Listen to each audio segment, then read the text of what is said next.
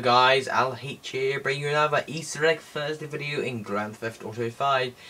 Um, this is, I believe, the, put my money on it, I think it's the 9th or 10th one, I'm sorry I don't know, I just haven't, I just don't remember, but let's just get straight into the first Easter egg. This is solving the 8 killer Easter egg, um, sort of the Easter egg that's been leading up to um, the last few episodes of this weekly series, and basically I'll be showing you one of the bodies, I'm not going to show you all of them, but it can be found, I'll show you the location here on the map in a sec, I have to try and find it myself, it's, um, it's quite hard to find sometimes like over here because I've just moved. There we go. There's the body there.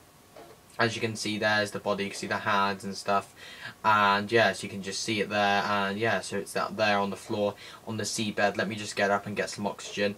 So basically, it's located here on the map. There's several bodies around here. So the other seven are around here somewhere. So just into this little crack there, just out, and just look down, and you'll just see like a body wrapped up, which is kind of creepy. So that is the people. Like there's eight bodies around here apparently. So that is that first Easter egg done. So on to the next Easter egg.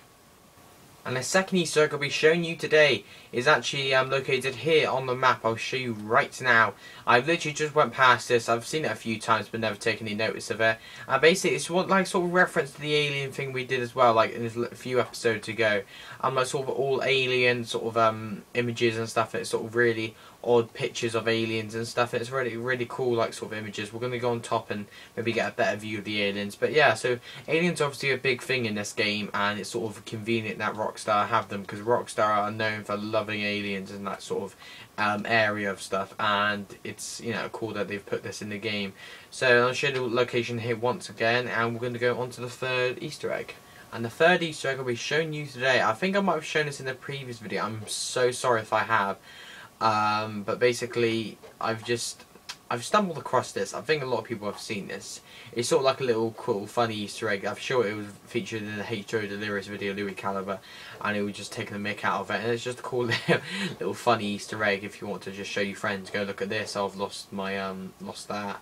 And basically, it's located in any store like out in the desert. Apparently, that's where I've seen it anyway. So just go and look in there. But it's mainly in this one. I'll just show you here and I have to say this is sort of I think this um series now is starting to like draw to a close. The reason is because I seriously I all the Easter eggs I found like recently and stuff like not recently or my I've either my friends told me or something or like you know I found myself I've just scrolled across and went oh I could feature that but basically I will trying my hardest to see if I can find any other Easter eggs next week, but you know next week's episode could be the last one because I seriously struggling to find more Easter eggs. So if that does end up happening, I might just go into maybe doing the Saints Row Easter egg, or maybe just do a new series completely. Maybe do like a new series type on Thursdays instead.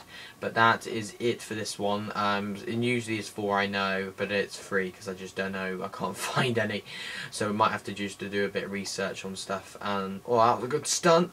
Oh yes, at least I've captured that. Uh, so thank you for watching this Easter Egg Thursday video and I will see you all later.